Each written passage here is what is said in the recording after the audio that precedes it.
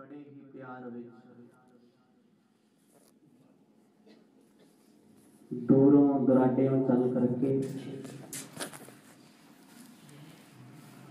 ਸਤਿਗੁਰੂ, ਸ੍ਰੀ ਗੁਰੂ ਗ੍ਰੰਥ ਸਾਹਿਬ ਜੀਆਂ ਦੀ ਪਾਵਨ ਹਜ਼ੂਰੀ ਵਿੱਚ ਬੈਠ ਕਰਕੇ ਆਪ ਜੀ ਸਤਿਗੁਰਾਂ ਦੇ ਚਰਨਾਂ ਦਾ ਨਿੱਘ ਮਾਣ ਰਹੇ ਹੋ।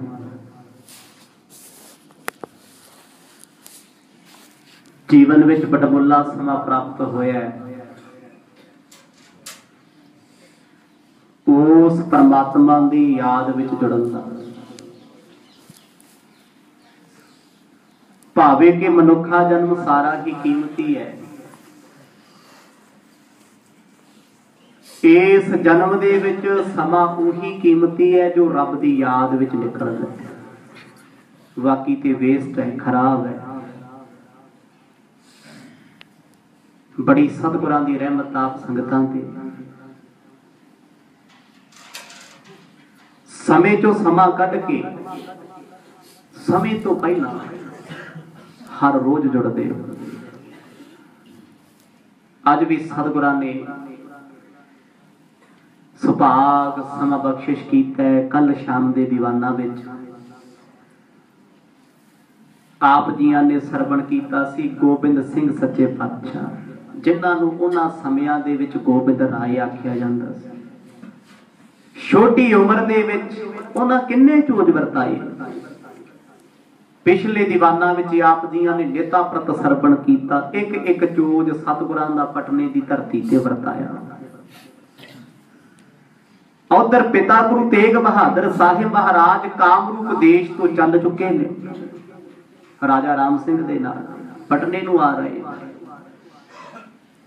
ਇੱਧਰ ਗੋਬਿੰਦ ਰਾਏ ਜੀ ਆਪਣੀ ਮਾਤਾ ਅਤੇ ਦਾਦੀ ਮਾਂ ਨੂੰ ਪੁੱਛ ਰਹੇ ਨੇ, ਸਾਡਾ ਪਿਛੋਕੜ ਕੀ ਹੈ? ਤੇ ਫਿਰ ਮਾਤਾ ਜੀ ਨੇ, ਸੋੜ ਵੰਸ਼ ਦਾ ਸਾਰਾ ਪਿਛੋਕੜ ਕਿੱਥੇ ਕਿੱਥੇ ਕੀ ਹੋਇਆ, ਕਦੋਂ ਕਦੋਂ ਕੀ ਹੁੰਦਾ ਰਿਹਾ? ਉਹ ਸਭ ਕੁਝ ਦਰਸਾਇਆ ਆਪਣੇ ਪੋਤੇ ਨੂੰ, ਦੱਸਿਆ ਪੰਜਾਬ ਦੀ ਧਰਤੀ ਤੇ ਆਪਣਾ ਜੱਦੀ ਨਗਰ ਹੈ, ਕਿਉਂਕਿ ਜਿੱਥੇ ਵੱਡੇ ਰਹਿੰਦੇ ਹੋਣ, ਉਸ ਨਗਰ ਨੂੰ ਜੱਦੀ ਕਿਹਾ ਜਾਂਦਾ ਹੈ। ਉਹ ਹੈ ਆਨੰਦਪੁਰ ਸਾਹਿਬ ਦੀ ਪਾਵਨ ਧਰਤੀ। ਇੱਕ ਦਿਨ ਆਪਾਂ ਉੱਥੇ ਜ਼ਰੂਰ ਚੱਲਾਂਗੇ। ਗੋਬਿੰਦ ਰਾਏ ਜੀ ਨੇ, ਜੋ ਹੈ ਅੰਤਰਜਾਮੀ ਨੇ, ਸਭ ਕੁਝ ਜਾਣਦੇ ਨੇ, ਪਰ ਇੱਕ ਕੋਸ਼ਿਸ਼ ਕਰਦੇ ਨੇ ਕਿਤੇ ਦੁਨੀਆ ਸਾਨੂੰ ਪਰਮਾਤਮਾ ਦੇ ਰੂਪ ਵਿੱਚ ਜਾਣ ਨਾ ਜਾਏ। ਅਣਜਾਣ ਬਣ ਕੇ ਪੁੱਛ ਰਹੇ ਨੇ। ਇੱਕ ਫਰਜ਼ ਨਿਭਾ ਰਹੇ ਹੁਣ ਇਹਨਾਂ ਨੇ ਸਭ ਕੁਝ ਸੁਣਿਆ, ਸਭ ਕੁਝ ਪੁੱਛਿਆ, ਬੜੇ ਖੁਸ਼ ਨੇ। ਇਥੋਂ ਤੱਕ ਆਪ ਸੰਗਤਾਂ ਨੇ। ਗੋਬਿੰਦ ਰਾਏ ਜੀਆਂ ਦੇ ਬਚਪਨ ਦੇ ਜੀਵਨ ਦਾ ਬਿਰਤਾਂਤ ਸਰਵਣ ਕੀਤਾ ਸੀ। ਕਵੀ ਜੀ ਇਥੋਂ ਕਥਾ ਨੂੰ ਕੁਝ ਕੁ ਰੋਕ ਕੇ ਅਗਲੇ ਚੈਪਟਰ ਆਰੰਭ ਕਰਨ ਲੱਗੇ। ਤਾਂ ਜੋ ਇਹ ਕਥਾ ਲੜੀ ਰੂਪ ਦੇ ਵਿੱਚ, ਸੰਪੂਰਨ ਰੂਪ ਦੇ ਵਿੱਚ ਜਿਵੇਂ ਪਹਿਲਾਂ ਚੱਲਦੀ ਆਉਂਦੀ ਸੀ, ਉਸੇ ਤਰ੍ਹਾਂ ਇਹਦਾ ਪ੍ਰਵਾਹ ਚੱਲਦਾ ਰਹੇ। ਆਓ ਜੀ। ਪਟਨੇ ਦੀ ਧਰਤੀ ਤੇ ਚੱਲੀਏ ਸੁਰਤ ਕਰਕੇ। ਇੱਕ ਹੁੰਦਾ ਜਾਣਾ ਤਨ ਕਰਕੇ ਇੱਕ ਹੁੰਦਾ ਸੁਰਤੀ ਤੇ ਧਿਆਨ ਕਰਕੇ। ਜਦੋਂ ਇਤਿਹਾਸ ਸੁਣਦੇ ਸੁਰਤ ਉਸ ਅਸਥਾਨ ਤੇ ਚਲੀ ਜਾਏ ਇਹ ਨਿਤ ਦੀ ਦਰਸ਼ਨ ਯਾਤਰਾ ਹੁੰਦੀ ਹੈ।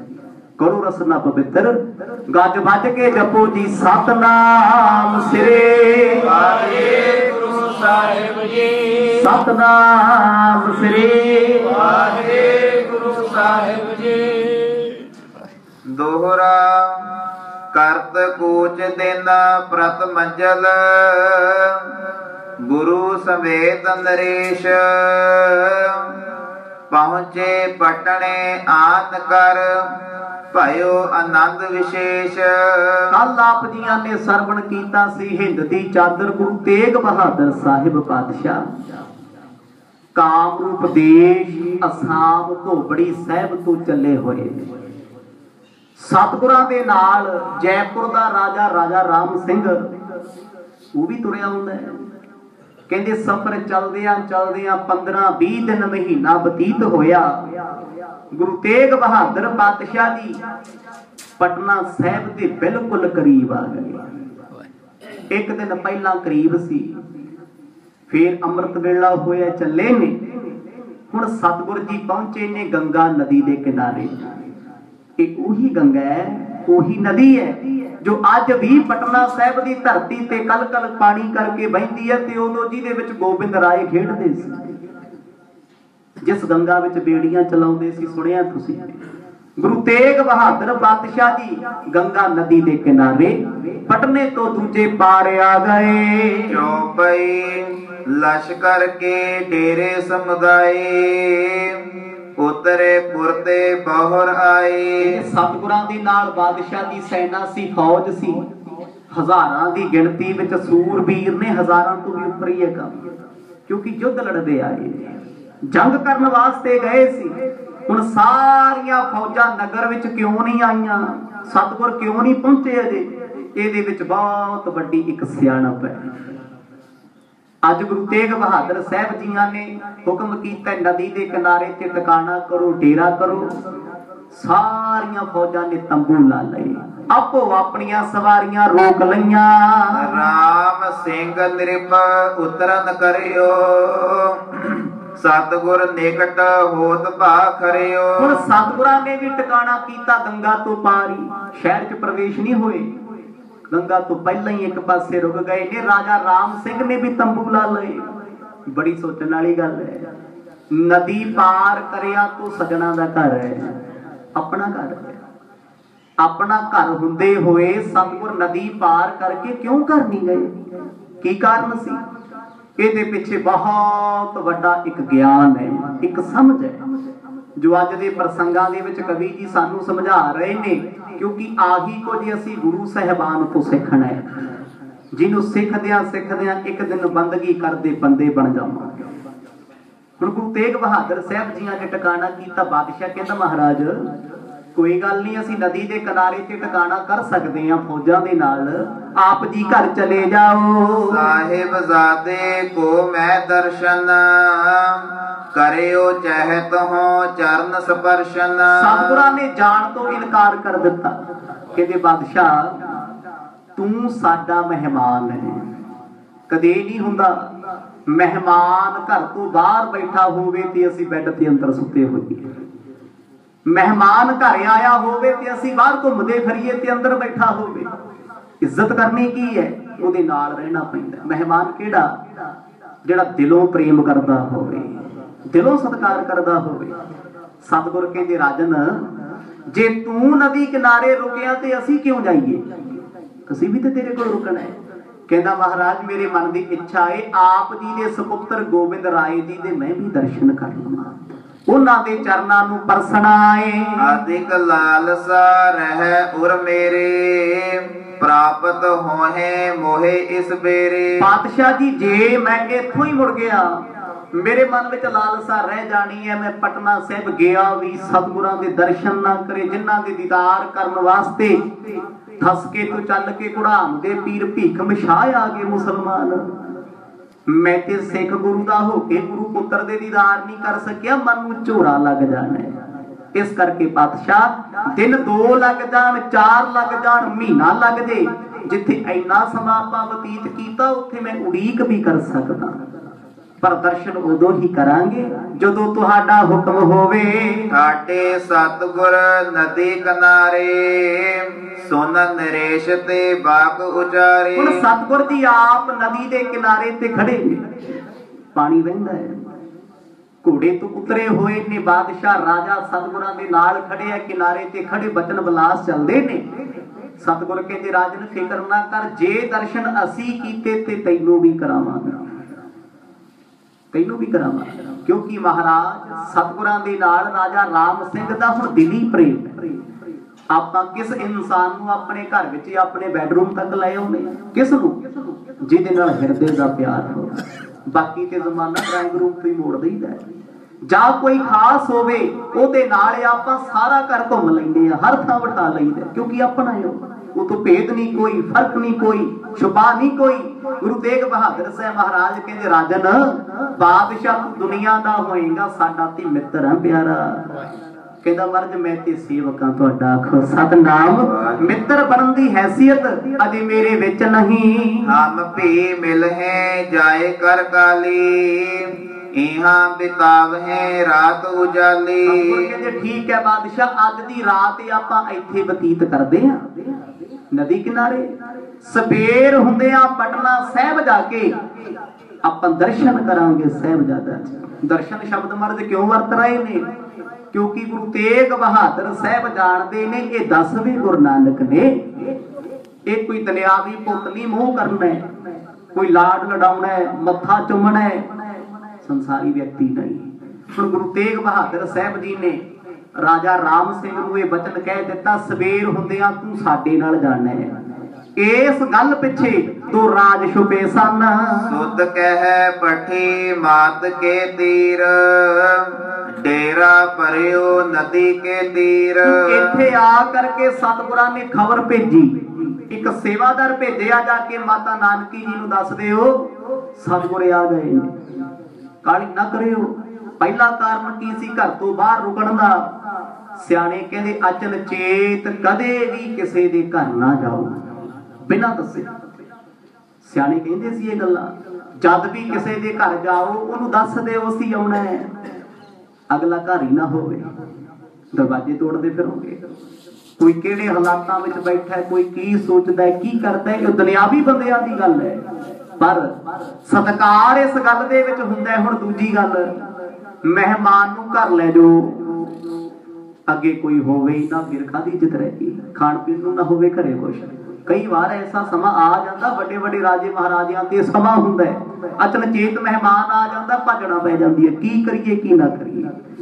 ਕੁੜੇ ਵੱਡੀ ਸਿਆਣਪ ਦੀ ਗੱਲ ਸੀ, ਕਿਸੇ ਨੂੰ ਘਰ ਲੈ ਕੇ ਜਾਣਾ, ਪਹਿਲਾਂ ਘਰੇ ਦੱਸਿਆ ਹੋਵੇ ਫਲਾਣਾ ਸਾਡੇ ਨਾਲ ਆਉਣ ਲੱਗੇ। ਤਾਂ ਜੋ ਉਹਦਾ ਸਤਕਾਰ ਬਣਦਾ ਹੋ ਜਾਵੇ। ਤੇ ਹਰ ਪਾਸੇ ਤੋਂ ਜਾਣ ਵਾਲਾ ਵੀ ਆਪਣੀ ਇਨਸਲਟ ਫੀਲ ਨਾ ਕਰੇ। ਗੁਰੂ ਤੇਗ ਬਹਾਦਰ ਸਾਹਿਬ ਜੀਆਂ ਨੇ ਖੱਤ ਭੇਜਿਆ ਸਾਡੇ ਨਾਲ ਸਵੇਰ ਹੁੰਦਿਆਂ ਜੈਪੁਰ ਦਾ ਬਾਦਸ਼ਾਹ ਰਾਮ ਸਿੰਘ ਵੀ ਆਏਗਾ। ਮਿਲਹਿ ਪ੍ਰਾਤ ਕੋ ਸੁਨ ਸੁਧ ਹਰਖੀ ਦਰਬ ਦਾਨ ਕੀ ਧਾਰਾ ਬਰਖੀ।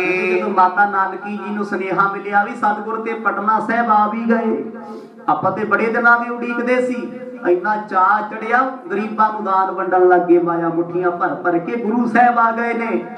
ਕਿਉਂਕਿ ਸਤਿਗੁਰ ਆਪ ਬੜੇ ਦਾਨੀ ਸੁਭਾਅ ਦੇ ਸੀ। ਐਡੇ ਵੱਡੇ ਦਾਨੀ, ਜੇ ਹਿੰਦੂ ਧਰਮ ਤੇ ਵਕਤ ਪੈ ਗਿਆ ਤੇ ਸਿਰਦਾਨ ਜੀ ਦੇਤਾ ਖੋ ਸਤਨਾਮ, ਉਹਨਾਂ ਦਾ ਧਰਮ ਬਚਾਉਣ ਵਾਸਤੇ, ਦੂਜੇ ਦੀ ਰੱਖਿਆ ਕਰਨ ਵਾਸਤੇ। ਮਾਤਾ ਨਾਨਕੀ ਜੀ ਨੇ ਬੜੀ ਮਾਇਆ ਵੰਡੀ ਸਿੱਖਾਂ ਨੇ ਖੁਸ਼ੀ ਮਨਾਈ। ਜਾਚਕ ਗਨ ਹਕਾਰ ਕਰ ਦੀਨ। ਸੁਤ ਸਨੇਹ ਜਿਸ ਕੇ ਮਨ ਪੀਨ। ਹੁਣ ਮਾਤਾ ਜੀ ਦੇ ਮਨ ਵਿੱਚ ਚਾਹ ਬੜਾ ਪੁੱਤਰ ਸਤਿਗੁਰੇ ਆਉਣਗੇ। ਮੰਗਤਿਆਂ ਨੂੰ ਬੁਲਾ ਬੁਲਾ ਕੇ ਦਾਨ ਦਿੱਤਾ। ਗੁਰਮੁਖੋ ਮੰਗਣਾ ਸੌਖਾ ਨਹੀਂ। ਮੰਗਣ ਵਰਗੀ ਕਲਾ ਬੜੀ ਔਖੀ ਆਉਂਦੀ ਹੈ, ਹਰ ਬੰਦਾ ਨਹੀਂ ਮੰਗ ਸਕਦਾ। ਜੇ ਅਸੀਂ ਕਿਸੇ ਮੰਗਤੇ ਨੂੰ ਕੁਝ ਦੇ ਨਹੀਂ ਸਕਦੇ, ਉਹਦੀ ਬੇਇੱਜ਼ਤੀ ਕਰਨੀ, ਉਹਨੂੰ ਬੇਇੱਜ਼ਤ ਕਰਨਾ, ਖਰੇ ਬੋਲ ਬੋਲਣੇ, ਇਹ ਵੀ ਹੱਕ ਸਾਡੇ ਕੋਲ ਨਹੀਂ। ਕਿਸੇ ਨੂੰ ਕੁਝ ਦੇਣਾ ਨਹੀਂ ਤੇ ਮੰਦਾ ਨਾ ਬੋਲੋ। ਗੱਡੀ ਵਿੱਚ ਬੈਠਣ ਵਾਲਿਆ ਕਹਿੰਦੇ ਦਿਨ ਤੂੰ ਕਮਾਉਂਦਾ ਕੁਝ ਨਹੀਂ। ਜੇ ਰੱਬ ਨੇ ਤੈਨੂੰ ਉਹ ਥਾਂ ਤੇ ਖੜਾ ਕਰ ਦਿੱਤਾ, ਫਿਰ ਤੇਰਾ ਕੋ ਜਵਾਬ ਕੀ ਹੋਊਗਾ? ਆਖੋ, ਸਤਨਾਮ। ਉਹਦੀ ਨਜ਼ਰ ਤੋਂ ਡਰ। ਚਾਹੇ ਕੋਈ ਮੰਗਣ ਵਾਲਾ ਠੱਗੀਆਂ ਮਾਰਦਾ, ਮਾਰੀ ਜਾਵੇ, ਸਾਨੂੰ ਕੀ ਪਰ ਮੰਗਣਾ ਹੀ ਔਖਾ ਨਾ। ਆਪਣੇ ਦਿੱਤੇ ਪੈਸੇ ਕਿਸੇ ਤੋਂ ਮੰਗ ਵੀ ਨਹੀਂ ਆਪਾਂ ਸਕਦੇ, ਉਦੋਂ ਵੀ ਸ਼ਰਮ ਆਉਂਦੀ, ਨਾਲੇ ਆਪਣੀ ਹੁੰਦੇ ਦਿੱਤੇ ਉਹਦੇ ਫੇਰ ਸੜਕਾਂ ਤੇ ਜਾ ਕੇ ਮੰਗਣਾ। ਹੁਣ ਵੇਖ ਲਓ, ਸਿੱਖ ਲਓ। ਕਿਉਂਕਿ ਗੁਰੂ ਦਾ ਸਿੱਖ ਕਿਸੇ ਗਰੀਬ ਨੂੰ, ਕਿਸੇ ਮੰਗਤੇ ਨੂੰ ਕੌੜੇ ਤੇ ਰੁੱਖੇ ਬੋਲ ਨਹੀਂ ਬੋਲਦਾ। ਜਿਹੜਾ ਬੰਦਾ ਇਹ ਬੋਲਦਾ, ਉਹ ਸੋਚ ਲਿਆ ਜੇ ਸਿੱਖੀ ਦੇ ਰਾਹ ਤੇ ਚੱਲਿਆ ਹੀ ਨਹੀਂ ਕਦੇ। ਆਖੋ, ਸਤਨਾਮ, ਇਹ ਤੇ ਨਾਸਤਕ ਲੋਕਾਂ ਵਾਲੀ ਬੋਲੀ ਹੈ। ਬੜਿਆਂ ਨੂੰ ਵੇਖਿਆ ਬੋਲਦੇ। ਗੱਡੀ 'ਚ ਕੀ ਬੈਠ ਗਈ ਉਹ ਤੇ ਸੋਚਦੇ ਹੈਲੀਕਾਪਟਰ 'ਚ ਬੈਠੇ ਆ। ਇਹ ਮੰਗਣ ਵਾਲੇ ਸਾਡੇ ਪੈਰਾਂ ਦੀ ਧੂੜ ਨੇ, ਇਹ ਕਮਾ ਨਹੀਂ ਸਕਦੇ। ਤੁਸੀਂ ਕਿੰਨਾ ਕੁ ਕਮਾ ਲੈਂਦੇ? ਹੁਣ ਇੱਥੇ ਮਾਤਾ ਜੀ ਨੇ ਬਲਾ ਬਲਾ ਕੇ ਲੋੜਵੰਦ ਤੇ ਗਰੀਬਾਂ ਨੂੰ ਮਾਇਆ ਦਿੱਤੀ। ਕਿਉਂਕਿ ਮੰਗਣਾ ਹੀ ਸਭ ਤੋਂ ਔਖਾ ਕੰਮ ਹੈ। ਮੰਗਣ ਵਾਲਾ ਮਰ ਕੇ ਜਾਂਦਾ ਹੈ। ਜੇ ਕੋਈ ਆਪਣੇ ਵਰਗਾ ਹੋਵੇ ਨਾ ਮੰਗਣ ਵਾਲਾ, ਕੋਈ ਇਹ ਕਹਿੰਦੇ ਤੂੰ ਕਮਾਉਂਦਾ ਨਹੀਂ, ਗਰਦਨ ਤੋਂ ਫੜ ਕੇ ਪਹਿਲਾਂ ਥੱਲੇ ਢਾਕੇ ਕੁੱਟੂਗਾ ਖੋ ਸਤਨਾਮ ਬੋਲ ਕਿਵੇਂ ਗਿਆ ਪਰ ਕਦੇ ਵੇਖੀ ਉਹਨਾਂ ਦੀ ਨਿਮਰਤਾ ਜਿੰਨਾ ਮਰਜ਼ੀ ਮਾੜਾ ਬੋਲਦੇ ਹੋ ਜਿੰਨੇ ਮਰਜ਼ੀ ਧੱਕੇ ਮਾਰਦੇ ਹੋ ਇੱਕੋ ਸ਼ਬਦ ਜਾਂਦੇ ਕਹਿਣਗੇ, ਰੱਬ ਤੇਰਾ ਭਲਾ ਕਰੇ। ਕੀ ਤੁਸੀਂ ਕਹਿ ਸਕਦੇ ਹੋ ਕੋਈ ਹੋਏ ਕਹਿੰਦੇ? ਇਸ ਕਰਕੇ ਦਸ਼ਮੇਸ਼ ਪਿਤਾ ਜੀ ਨੇ ਮੰਗਣ ਵਾਲਿਆਂ ਦਾ ਸਤਿਕਾਰ ਬਹੁਤ ਕੀਤਾ। ਕੋਈ ਸੱਜਣਾ ਗੱਡੀਆਂ ਅੱਗੇ ਮੰਗਣ ਵਾਲੇ ਤੇ ਮੰਗਤੇ ਨੇ, ਤੂੰ ਕਿੱਧਰ ਦਾ ਦਾਨੀ ਤੂੰ ਰੱਬ ਕੋਲੇ ਆ ਕੇ ਰੋਜ਼ ਮੰਗਦਾ ਆਖੋ ਸਤਨਾਮ ਮੈਨੂੰ ਆਹ ਦੇ ਦਿਓ, ਮਹਾਰਾਜ ਮੈਨੂੰ ਉਹ ਦੇ ਦਿਓ। ਇਹਨੇ ਤੇ ਕਦੇ ਨਹੀਂ ਕਿਹਾ, ਤੂੰ ਰੋਜ਼ ਆ ਜਾਂਦਾ ਤੂੰ ਭਗਤੀ ਨਹੀਂ ਕਰਦਾ, ਤੂੰ ਸੇਵਾ ਨਹੀਂ ਕਰਦਾ। ਇਹ ਫਿਰ ਵੀ ਸੁਣਦਾ ਅੱਜ ਮਾਤਾ ਨਾਨਕੀ ਜੀ ਨੇ ਕਹਿੰਦੇ, ਖੂਬ ਦਾਨ ਦਿੱਤਾ। ਕੱਪੜਾ, ਮਾਇਆ, ਪਦਾਰਥ ਲੋੜ ਬੰਦਾਂ ਦੀਆਂ ਲੋੜਾਂ ਪੂਰੀਆਂ ਕਰਨਾ ਹੀ ਸਿੱਖ ਦਾ ਫਰਜ਼ ਹੈ। ਮਾਤਾ ਜੀ ਨੇ ਜਦੋਂ ਖੂਬ ਮਾਇਆ ਵੰਡੀ, ਉਹਨਾਂ ਬੜਾ ਚਾਹ ਕੀਤਾ। ਹੁਣ ਇਹ ਮਾਇਆ ਕੌਣ ਵੰਡਦੇ ਨੇ? ਪਿਤਾ ਜੀ ਦੇ ਆਉਣ ਦੀ ਖੁਸ਼ੀ ਵਿੱਚ ਗੋਬਿੰਦ ਰਾਏ। ਜਿਵੇਂ ਅਨੰਦਪੁਰ ਦੀ ਧਰਤੀ ਤੇ ਢਾਲਾਂ ਭਰ ਭਰ ਵੰਡਦੇ ਸੀ ਨਾ ਬਚਪਨ ਵਿੱਚ ਵੀ ਮੁੱਠਾਂ ਭਰ ਭਰ ਹਲਕੀਆਂ ਹਲਕੀਆਂ ਵੰਡ ਰਹੇ ਨੇ। ਆਖੋ ਸਤਨਾਮ ਹੱਥ ਛੋਟੇ ਨੇ ਜਿੰਨੀ ਕੁ ਮਾਇਆ ਆਉਂਦੀ ਹੈ ਉਨੀ ਝੋਲੀ ਪਾਉਂਦੇ ਨੇ। ਲੈ ਪੋਤਰੇ ਕੋ ਅੰਕ ਸੁਨਾਵੇ ਤੇਰੋ ਪਿਤਾ ਭੋਰ ਕੋ ਆਵੇ। ਇਹਨੇ ਮਾਇਆ ਵੰਡਣ ਤੋਂ ਬਾਅਦ ਮਾਤਾ ਗੁਜਰ ਕੌਰ ਜੀ ਆਪਣੀ ਗੋਦ ਵਿੱਚ ਗੋਬਿੰਦ ਰਾਏ ਜੀਆਂ ਨੂੰ ਲੈ ਕੇ ਕਹਿੰਦੇ ਪੁੱਤ ਸਵੇਰੇ ਤੇਰੇ ਪਿਤਾ ਸਤਿਗੁਰ ਆਉਣਗੇ। ਕਦੇ ਕੱਲਾ ਪਿਤਾ ਨਹੀਂ ਕਿਹਾ, ਪਿਤਾ ਸਤਿਗੁਰ। ਕਿਉਂਕਿ ਦਸ਼ਮੇਸ਼ ਜੀਆਂ ਦੇ ਪਰਿਵਾਰ ਦੇ ਵਿੱਚ ਦੁਨਿਆਵੀ ਰੀਤਾਂ ਨਹੀਂ ਸੀ। ਕਦੇ ਸਹਿਬਜ਼ਾਦਿਆਂ ਦੇ ਬੋਲ ਸੁਣ ਕੇ ਵੇਖੋ ਸਰਹੱਦ ਦੀ ਧਰਤੀ ਤੇ ਉਹ ਵੀ ਕਹਿੰਦੇ ਸੀ, ਸਾਡੇ ਪਿਤਾ ਗੁਰੂ ਨੂੰ ਮਾਰਨ ਵਾਲਾ ਕੌਣ ਹੈ? ਸਾਡੇ ਪਿਤਾ ਦਸ਼ਮੇਸ਼ ਸਤਿਗੁਰਾਂ ਨੂੰ ਕੌਣ ਮਾਰ ਸਕਦਾ ਹੈ, ਕੌਣ ਫੜ ਸਕਦਾ ਹੈ? ਉਹਨਾਂ ਉੱਥੇ ਕੱਲਾ ਨਹੀਂ ਕਿਹਾ ਵੀ ਸਾਡਾ ਪਿਤਾ ਸੀ। ਪਿਤਾ ਸਤਿਗੁਰੂ। ਹਮਰੇ ਵੰਸ ਰੀਤ ਇਹ ਆਈ। ਇਤੇ ਵੰਸ ਚ ਪਰਿਵਾਰ ਚ ਰੀਤ ਆਉਂਦੀ ਸੀ ਵੱਡਿਆਂ ਦਾ ਅਦਬ ਤੇ ਸਤਿਕਾਰ ਕਰਨਾ। ਆਪਣੇ ਆਪ ਨੂੰ ਤੁੱਛ ਜਾਣਨਾ। ਗੋਬਿੰਦ ਰਾਏ ਜੀ ਨੂੰ ਮਾਤਾ ਜੀ ਕਹਿ ਰਹੇ ਨੇ ਪੁੱਤਰਾ ਸਵੇਰੇ ਗੁਰੂ ਪਿਤਾ ਆਉਣਗੇ। ਅਤ ਆਨੰਦ ਸੁਨ ਸੁਨ ਸਭ ਕੀਨਾ। ਸਿੱਖ ਸੇਵਕ ਮਿਲੇ ਸੁਖ ਪੀਨਾ ਜਦੋਂ ਸਤਿਗੁਰ ਪਿਤਾ ਜੀ ਆਉਣਗੇ ਪੁੱਤਰਾ ਮੋਹ ਨਹੀਂ ਦੁਨੀਆ ਦਾ ਕਰਨਾ। ਭੱਜ ਕੇ ਚਰਨਾਂ ਤੇ ਸੀਸ ਰੱਖਣਾ। ਗੋਬਿੰਦ ਰਾਏ ਜੀ ਨੂੰ ਬੜਾ ਚਾਅ ਸੀ ਕਿਉਂਕਿ ਅੰਦਰ ਦੀਆਂ ਖੇਡਾਂ ਤੇ ਕੋਈ ਜਾਣਦੇ ਜਾਂ ਸਤਿਗੁਰ ਜਾਣਦੇ ਦੁਨੀਆ ਨੂੰ ਤੇ ਇਹ ਲੱਗਦਾ ਨਾ ਪਿਓ ਪੁੱਤ ਦਾ ਮਲਾਪ ਹੋਣਾ ਬੜੀ ਦੇਰ ਬਾਅਦ ਜਦੋਂ ਪਟਨੇ ਦੀ ਧਰਤੀ ਤੇ ਦਸ਼ਮੇਸ਼ ਜੀ ਆਏ। ਕੀ ਗੁਰੂ ਤੇਗ ਬਹਾਦਰ ਸਾਹਿਬ ਜੀ ਨੂੰ ਪਤਾ ਨਹੀਂ ਉਸ ਰਾਤ ਨੂੰ ਚੌਂਕੜਾ ਲਾ ਕੇ ਬੈਠੇ ਸੀ। ਜਿਨ੍ਹਾਂ ਨੂੰ ਆਪ ਪਤਾ ਸੀ, ਇੰਨੇ ਸਮੇਂ ਬਾਅਦ ਗੁਰੂ ਨਾਨਕ ਨੇ ਆ ਜਾਣਾ ਇਸ ਧਰਤੀ ਤੇ ਸਰੀਰ ਧਾਰਨ ਕਰਕੇ ਉਹ ਰੂਹਾਂ ਤੋਂ ਮਿਲੇ ਸੀ। ਇੱਕ ਜੋਤ ਸਨ। ਚਿਰੰਕਾਲ ਮੈਂ ਹਟ ਗੁਰ ਆਏ ਦੇਤ ਵਧਾਈ ਮਿਲ ਤੇ ਸਮੁਦਾਏ ਹੁਣ ਗੋਬਿੰਦ ਰਾਏ ਜੀ ਨੂੰ ਮਾਤਾ ਜੀ ਦੱਸਦੇ ਨੇ ਕਹਿੰਦੇ ਤੁਹਾਡੇ ਪਿਤਾ ਸਤਗੁਰ ਜੀ ਬੜੀ ਦੇਰ ਬਾਅਦ ਆਉਣ ਲੱਗੇ। ਗੋਬਿੰਦ ਰਾਏ ਜੀ ਨੇ ਪਹਿਲੀ ਵਾਰ ਤੱਕ ਨਾ ਪਿਤਾ ਗੁਰੂ। ਕਿੰਨੇ ਸਾਲ ਹੋ ਗਏ? ਕਿੰਨੇ ਮਹੀਨੇ ਹੋ ਗਏ ਨੇ? ਅਜੇ ਤੱਕ ਪਿਤਾ ਅਤੇ ਪੁੱਤਰ ਦਾ ਦੁਨਿਆਵੀ ਤੌਰ ਤੇ ਮਿਲਾਪ ਨਹੀਂ ਹੋਇਆ। ਭਾਵੇਂ ਰੂਹ ਇੱਕ ਹੈ। ਉਤਸਵ ਕਰਤੇ ਰਾਤ ਬਿਤਾਈ। ਜਾਗੇ ਪਿਖ ਪ੍ਰਭਾਤ ਹੋਏ ਆਈ। ਬੜੀ ਖੁਸ਼ੀ ਬੜਾ ਚਾਅ ਸਿੱਖ ਸੰਗਤਾਂ ਨੂੰ ਪਟਨੇ ਦੀ ਧਰਤੀ ਤੇ ਅੱਜ ਦੀ ਰਾਤ। ਸੰਗਤਾਂ ਨੇ ਦੇਸੀ ਘਿਓ ਦੇ ਦੀਵੇ ਜਗਾ ਲਏ। ਮਾਲਕ ਆਉਣਗੇ ਸਪੁਰੀ ਤੇ। ਗੋਬਿੰਦ ਰਾਏ ਜੀ ਵੀ ਸਾਰੀ ਰਾਤ ਹੀ ਜਾਗਦੇ ਰਹੇ ਚਾਹੀ ਬੜਾ ਸੀ ਸਤਿਗੁਰ ਆਉਣਗੇ ਉਹਨਾਂ ਦੀ ਗੋਦ ਵਿੱਚ ਬੈਠਾਂਗੇ। ਸ਼੍ਰੀ ਗੁਜਰੀ ਕਰ ਨੀਰ ਉਸ਼ਨ ਕੋ ਪੁੱਤਰ ਸ਼ਨਾਨ ਹੈ ਮਰਦਤ ਤਨ ਕੋ। ਹੁਣ ਅੰਮ੍ਰਿਤ ਵੇਲੇ ਦਾ ਸਮਾਂ ਹੋਇਆ ਪਹਿਰ ਰਾਤ ਤੋਂ ਪਹਿਲਾਂ ਦੋ ਪਹਿਰ। ਇੱਕ ਸਵਾ 1 ਵਜੇ ਮਾਤਾ ਗੁਜਰ ਕੌਰ ਜੀ ਜਾ ਕੇ 2:30 ਵਜੇ ਦਸ਼ਮੇਸ਼ ਜੀ ਉੱਠ ਗਏ। ਉੱਠਣ ਸਾਰ ਕਹਿੰਦੇ ਮਾਤਾ ਜੀ ਇਸ਼ਨਾਨ ਕਰਨਾ ਮੈਨੂੰ ਨਿਭਾ ਦਿਓ।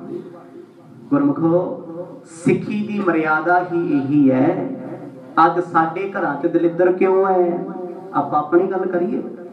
ਉੱਠਣ ਤੋਂ ਬਾਅਦ ਸਾਨੂੰ ਨਹਾਉਣਾ ਯਾਦ ਨਹੀਂ ਹੁੰਦਾ। ਆਖੋ, ਸਤਨਾਮ ਸਿੱਖਾ, ਜਦੋਂ ਗੁਰਬਾਣੀ ਪੜ੍ਹੇਗਾ, ਉੱਠ ਭਾਵੇਂ 7 ਵਜੇ ਜਾਈ 8 ਵਜੇ ਜਾਈ 9 ਵਜੇ ਜਾਈ, ਜ਼ਿੰਦਗੀ ਦਾ ਇੱਕ ਏਮ ਬਣਾ ਲੈ, ਖਾਣਾ, ਪੀਣਾ, ਹੱਸਣਾ, ਸੌਣਾ ਬਾਅਦ ਵਿੱਚੋਂ ਉੱਠ ਕੇ ਪਹਿਲਾਂ ਪਾਣੀ ਪੀ ਕੇ ਇਸ਼ਨਾਨ ਕਰਾਂ, ਗੁਰੂ ਦੀ ਬਾਣੀ ਪੜਾਂ ਇੰਨੇ ਬਣਾ ਲੈ।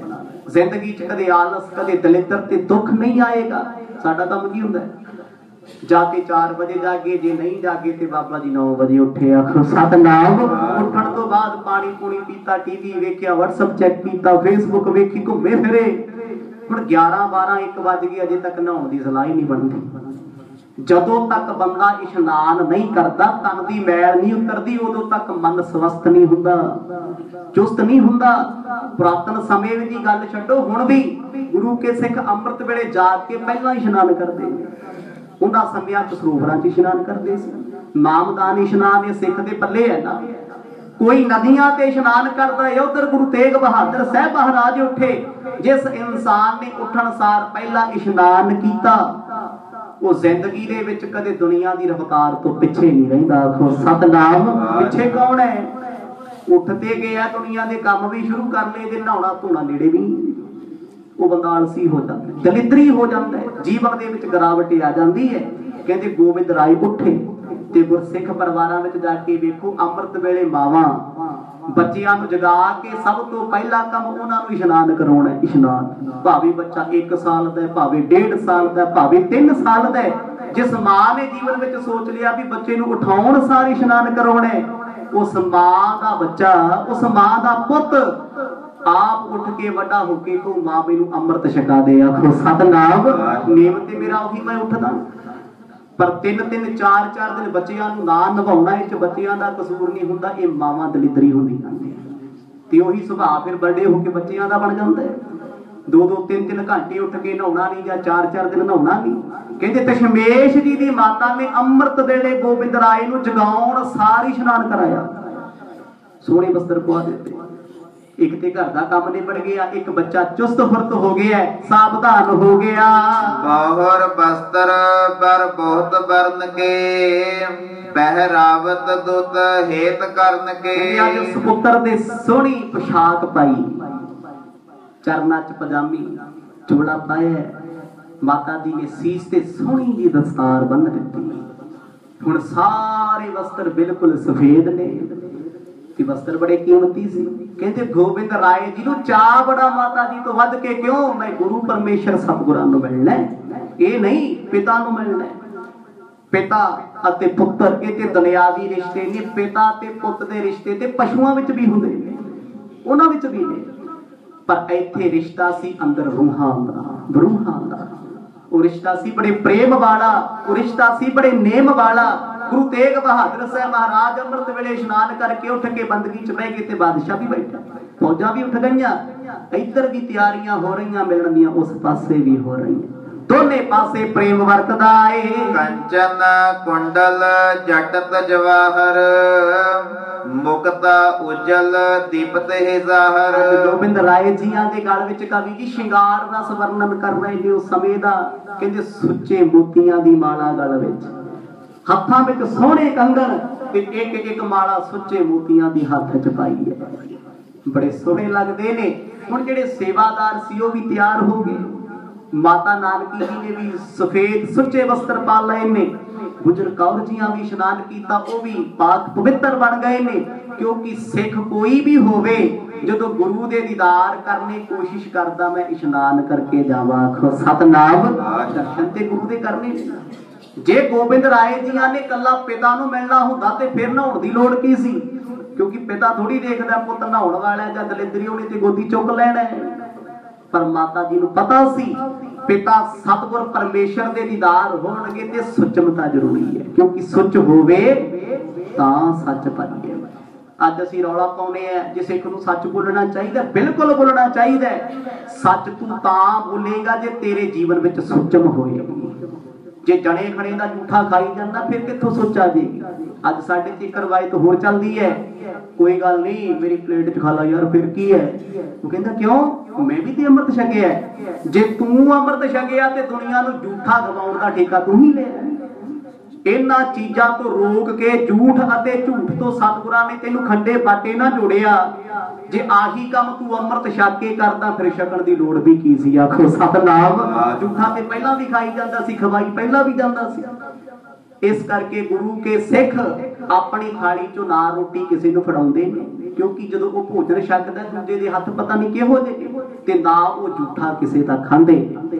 ਜਦੋਂ ਝੂਠ ਖਾਣੀ ਬੰਦ ਕਰ ਦਿੱਤੀ ਤੇ ਝੂਠ ਜੀਵਨ ਚੋਂ ਆਪੇ ਚਲਿਆ ਜਾਏਗਾ। ਜਦੋਂ ਤੱਕ ਝੂਠ ਜੀਵਨ ਵਿੱਚ ਰਹੇਗੀ, ਲੱਖ ਵਾਰ ਸੱਚ ਬੋਲਿਓ, ਉਹ ਤੁਹਾਡਾ ਸੱਚ ਵੀ ਝੂਠ ਦੇ ਬਰਾਬਰ ਹੀ ਚੱਲਣਾ। ਆਖੋ, ਸਤਨਾਮ, ਉਹ ਵੀ ਝੂਠ ਦੇ ਬਰਾਬਰ ਹੈ। ਮਰਦ ਕਹਿੰਦੇ, ਪਹਿਲਾਂ ਸੁੱਚਮ ਰੱਖ ਸਰੀਰ ਦੀ। ਸਰੀਰ ਤੇਰਾ ਪਾਕ ਹੋਵੇ, ਸਰੀਰ ਤੇਰਾ ਪਵਿੱਤਰ ਹੋਵੇ, ਤਨ ਦੀ ਮੈਲ ਤੇ ਤੂੰ ਉਤਰਦੀ ਨਹੀਂ ਤੇ ਗੱਲਾਂ ਕਰਦਾ, ਮਨ ਦੀ ਮੈਲ ਲਾਉਂਦੀ ਗੁਰਮਤ ਮਰਿਆਦਾ ਦੀ ਕੋਈ ਚੀਜ਼ ਆ, ਸਤਿਗੁਰਾਂ ਨੇ ਸਿੱਖ ਨੂੰ ਇਹੀ ਸਮਝਾਈ। ਅੱਜ ਬੜਾ ਦੁੱਖ ਹੁੰਦਾ ਵੇਖ ਕੇ।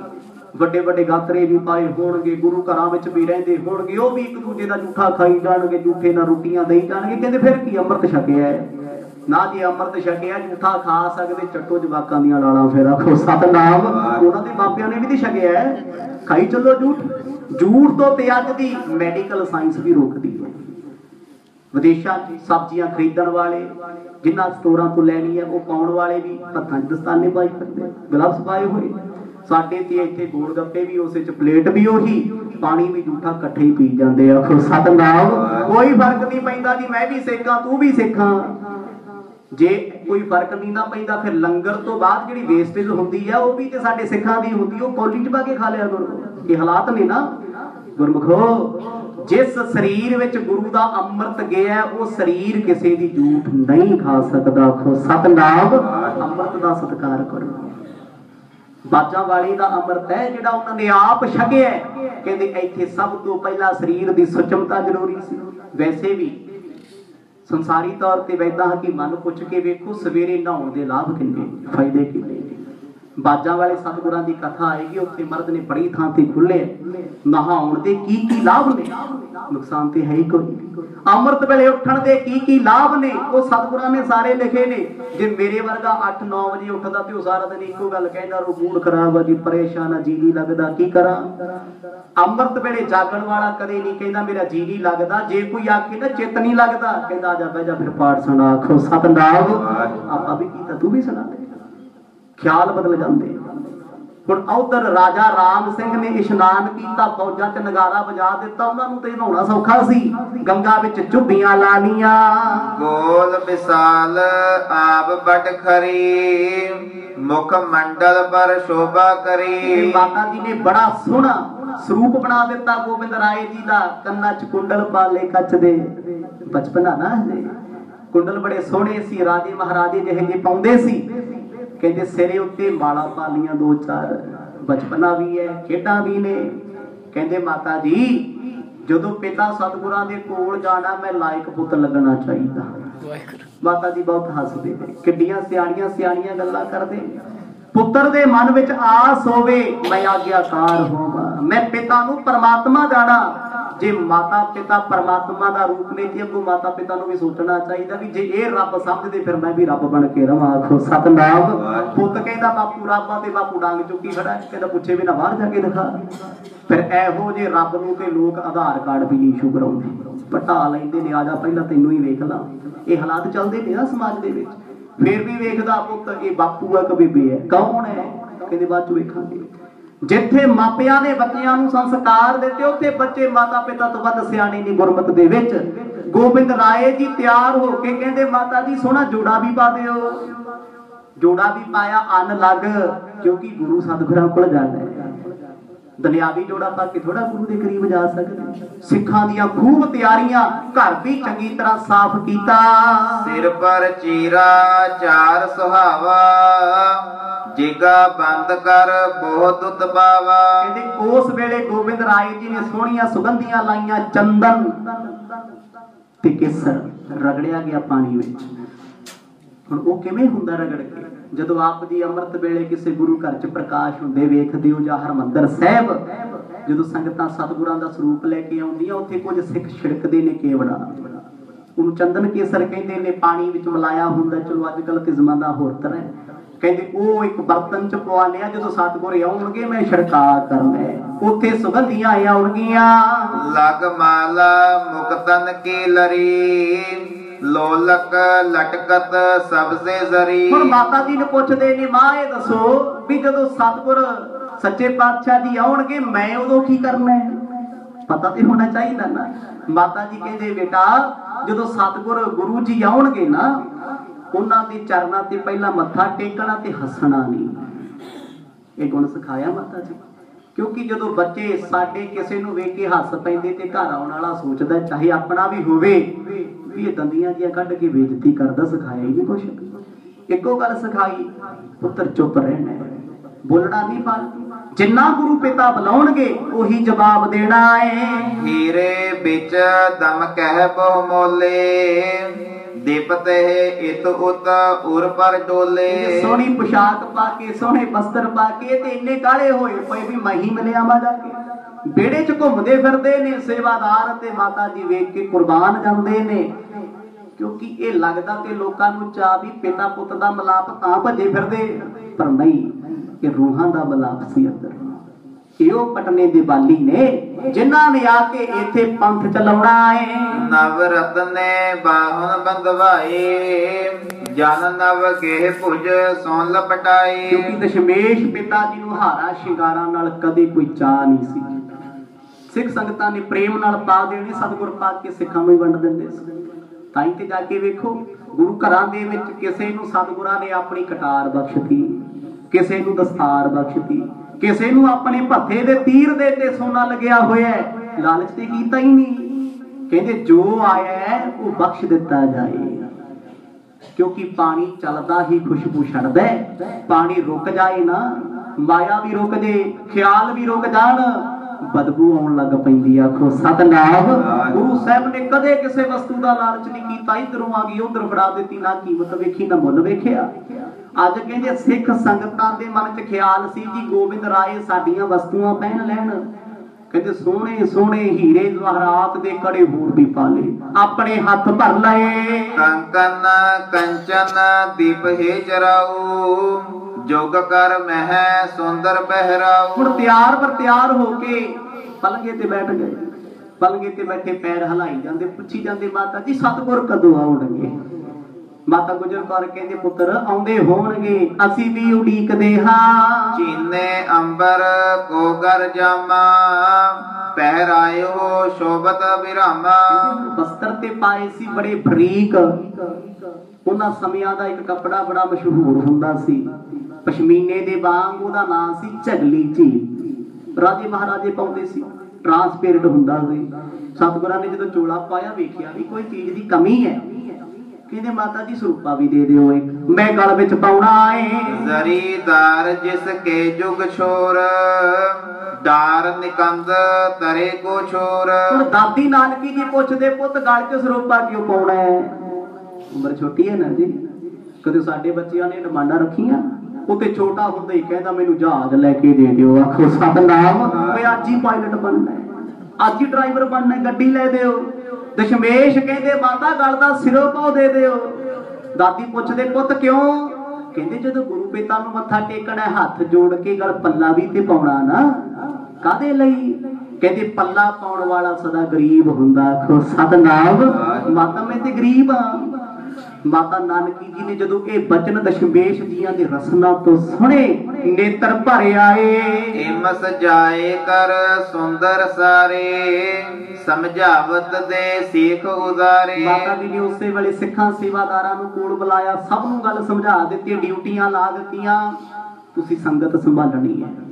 ਕਿਉਂਕਿ ਜਿਸ ਵੇਲੇ ਸਤਿਗੁਰ ਘਰ ਆਉਣਗੇ ਸਿੱਖਾਂ ਦਾ ਸੰਗਤਾਂ ਦਾ ਹੜ ਆ ਜਾਏਗਾ ਕੰਟਰੋਲ ਕਰਨੇ ਰੋਕਣੇ ਮੁਸ਼ਕਲ ਹੋ ਜਾਣਗੇ। ਤੋਹੇ ਪਿਤਾ ਕੇ ਸਾਥ ਨਰੇਸ਼ੂ ਹੈ ਹੈ ਨਰਗਨ ਸੰਗ ਵਿਸ਼ੇਸ਼ੂ। ਮਾਤਾ ਜੀ ਮਾਤਾ ਗੁਜਰ ਕੌਰ ਜੀ ਆਪਣੇ ਪੁੱਤ ਗੋਬਿੰਦ ਰਾਏ ਨੂੰ ਇੱਕ ਚੰਗਾ ਗੁਣ ਹੋਰ ਸਿਖਾ ਰਹੇ ਨੇ ਕਹਿੰਦੇ ਪੁੱਤ ਜਿੱਥੇ ਗੁਰੂ ਪਿਤਾ ਦੇ ਚਰਨਾਂ ਤੇ ਮੱਥਾ ਟੇਕਣਾ ਹੈ ਉੱਥੇ ਇੱਕ ਬਾਦਸ਼ਾਹ ਸਤਿਗੁਰਾਂ ਨਾਲ ਆ ਰਹੇ ਨੇ।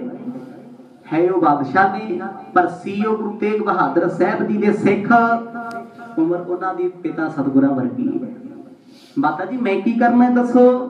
ਮਾਤਾ ਗੁਜਰ ਕੌਰ ਕਹਿੰਦੇ, ਪੁੱਤ, ਜਦੋਂ ਆਪਣੇ ਪਿਤਾ ਗੁਰੂ ਦੇ ਚਰਨਾਂ ਤੇ ਸਿਰ ਰੱਖਣਾ ਨਾ, ਉਹਨਾਂ ਦੇ ਚਰਨਾਂ ਤੇ ਵੀ ਮੱਥਾ ਟੇਕ ਦਿਓ। ਆਖੋ, ਸਤਨਾਮ, ਨਮਸਕਾਰ ਕਰਿਓ। ਜਿਹਨੇ ਗੁਰੂ ਦਾ ਸੰਗ ਕੀਤਾ, ਜਿਹੜੇ ਸਤਿਗੁਰਾਂ ਦੇ ਨਾਲ ਨੇ, ਮਰਦ ਕਹਿੰਦੇ, ਇਹੋ ਜਿਹੇ ਸਿੱਖਾਂ ਦੀ ਤੇ ਧੂੜੀ ਚੁੱਕ ਚੁੱਕ ਮੱਥੇ ਲਾਈਏ। ਗੁਰਸਿੱਖਾਂ ਕੀ ਹਰ ਧੂੜ ਦੇ ਹਮ ਪਾਪੀ ਭੀ? ਗੱਤ ਪਾਹੇ ਕਿਤੇ ਰੱਬ ਦੇ ਪਿਆਰਿਆਂ ਦੀ ਚਰਨ ਧੂੜ ਮਿਲਦੇ ਤੇ ਸਾਡੇ ਵਰਗਿਆਂ ਦਾ ਜੀਵਨ ਸਫਲਾ ਹੋ ਜੇ। ਦਸ਼ਮੇਜੀਆਂ ਨੇ ਨਹੀਂ ਕਿਹਾ, ਜੇ ਹਉਮੈ ਹੁੰਦੀ ਤੇ ਬੱਚਾ ਪਤਾ ਕੀ ਕਹਿੰਦਾ? ਲੈ, ਉਹਦੇ ਨੌਕਰ ਆ ਸਾਡਾ ਮੈਂ ਕਿਉਂ ਬੁਲਾਵਾਂ? ਅੱਜ ਸਾਡੇ ਬੱਚਿਆਂ ਚ ਹਉਮੈ ਹੈ, ਇਹ ਫਲਾਣਾ ਨੌਕਰ ਹੈ, ਇਹ ਛੋਟੀ ਜਾਤ ਦਾ, ਇਹ ਗਰੀਬ ਹੈ, ਅਸੀਂ ਨਹੀਂ ਬੋਲਣਾ। ਕਿਉਂ? ਇਹ ਹਉਮੈ ਦਾ ਸ਼ਿਕਾਰ ਆ ਸਾਰੇ। ਦਸ਼ਮੇਸ਼ ਜੀ ਵੇਖੋ, ਤਖਤਾਂ ਦੇ ਮਾਲਕ ਨੇ, ਪਿਤਾ ਗੁਰੂ ਪਰਮੇਸ਼ਰ ਨੇ। ਹੁਣ ਆਇਆ ਬਾਦਸ਼ਾਹ ਗੁਰੂ ਘਰ ਦੇ ਵਿੱਚ ਤੇ ਸੇਵਾਦਾਰੀ ਹੈ ਨਾ? ਪਰ ਨਹੀਂ। ਮਾਪਿਆਂ ਨੇ ਚੰਗੀ ਸਿੱਖਿਆ ਦਿੱਤੀ ਕਿ ਦੇ ਬਾਦਸ਼ਾਹ ਉਹ ਦੁਨੀਆ ਵਾਸਤੇ ਹੈ। ਗੁਰੂ ਦਾ ਪਿਆਰਾ ਸਿੱਖ ਹੈ ਪੁੱਤਰ ਉਹਨਾਂ ਦੇ ਚਰਨੀ ਹੱਥ ਲਾਇਓ ਤੇ ਮੱਥਾ ਟੇਕਿਓ। ਅੱਗੋਂ ਸਤ ਬਚਨ ਆਖ ਦਿੱਤਾ ਕਰ ਬੰਧਨ ਪਿਤ ਅੰਕ ਥਰੀਜੈ ਨ੍ਰਿਪ ਕੇ ਸੰਗ ਬੋਲਬੋ ਕੀਜੈ। ਕਹਿੰਦੇ ਜੇ ਤੁਹਾਨੂੰ ਬਾਦਸ਼ਾਹ ਬੁਲਾਵੇ ਮੂੰਹ ਵੱਟ ਕੇ ਨਾ ਬੈਠੇ ਹੋ ਪਿਤਾ ਦੀ ਗੋਦ ਵਿੱਚ ਬੈਠ ਕੇ ਉਹਨਾਂ ਦੇ ਸਵਾਲਾਂ ਦਾ ਜਵਾਬ ਦੇ ਦਿਓ। ਬੱਚੇ ਅਕਸਰ ਬੋਲਦੇ ਸੋਹਣੇ ਲੱਗਦੇ, ਚੁੱਪ ਨਹੀਂ ਚੰਗੇ ਲੱਗਦੇ। ਗੋਬਿੰਦ ਰਾਏ ਕਹਿੰਦੇ, ਠੀਕ ਹੈ ਮਾਤਾ ਜੀ, ਹੁਣ ਬਾਦਸ਼ਾਹ ਪਿਆਰ ਤੇ ਕਰੂਗਾ। ਜਿਸ ਗੁਰੂ ਨੇ ਬੇੜਾ ਬੰਨੇ ਲਾ ਦਿੱਤਾ, ਉਸ ਗੁਰੂ ਦੇ ਪਿਆਰੇ ਸਤਿਗੁਰ ਪੁੱਤਰ ਉਹਦੇ ਪੂਜਣ ਯੋਗ ਨੇ। ਬਾਦਸ਼ਾਹ ਉਧਰ ਮਨ ਚ ਖਿਆਲ ਕਰਦਾ ਗੋਬਿੰਦ ਰਾਏ ਜੀ ਦੇ ਚਰਨਾਂ ਤੇ ਮੈਂ ਮੱਥਾ ਟੇਕਣਾ ਹੈ। ਇੱਧਰ ਗੋਬਿੰਦ ਰਾਏ ਬੈਠੇ ਸੋਚਦੇ ਕਹਿੰਦੇ ਗੁਰੂ ਪਿਤਾ ਨਾਲੋਂ ਪਹਿਲਾਂ ਰਾਜੇ ਦੇ ਪੈਰੀ ਮੱਥਾ ਟੇਕਾਂਗੇ। ਆਖੋ ਸਤਨਾਮ ਕਿਉਂਕਿ ਉਧਰ ਮੱਥਾ ਟੇਕ ਕੇ ਉਧਰੋਂ ਕੰਮ ਨਿਬੇੜ ਕੇ ਫਿਰ ਗੁਰੂ ਜੀ ਦੀ ਗੋਦ 'ਚ ਹੀ ਬਹਿ ਜਾਣਗੇ ਇਹ ਮਨ ਵਿੱਚ ਸੋਚਿਆ ਸੋਚ ਵੇਖੋ ਕਿੱਡੀ ਉੱਚੀ ਹੈ।